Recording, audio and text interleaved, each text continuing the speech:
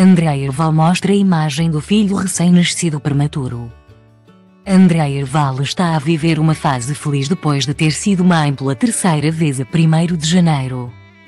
Apesar do prematuro, já que o bebê veio ao mundo com apenas 31 semanas, tudo correu bem.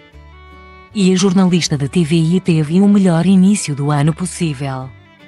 Depois de ter sido internada, a 25 de novembro, após um pequeno susto que a obrigou a permanecer em repouso absoluto e sob vigilância médica. Andrea Valle, de 44 anos, foi novamente mãe e não podia estar mais babada. Agora, a comunicadora partilhou uma imagem do pequenino e é de derreter corações. Calma, Hulk. Começa por escrever a jornalista na imagem onde Miguel surgia ao colo do pai.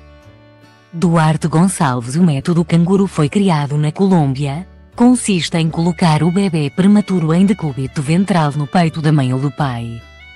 O objetivo é permitir o contacto pele a pele entre os pais e o recém-nascido. São várias as vantagens documentadas e reconhecidas pela OMS, explica ainda Andrea Valle. Os comentários elogiosos e de apoio não tardaram, nomeadamente de figuras públicas e amigos próximos do casal. Foto linda, escreveu Rita Ferro Rodrigues. Também Vanessa Oliveira elogiou papai e filho, e que deliciou que o futuro. Na imagem divulgada é possível constatar que Miguel ainda se encontra na maternidade Alfredo da Costa. O bebê continua internado para receber o suporte necessário e ganhar peso antes de receber alta hospitalar e ir, finalmente, para casa. Miguel é o primeiro filho em comum de Andréa Val com Duarte Gonçalves.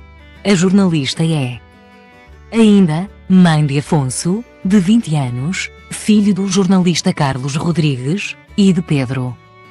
De 14 anos, nascido da anterior relação com o diretor de informação da TVI e da CNN Portugal, Nuno Santos.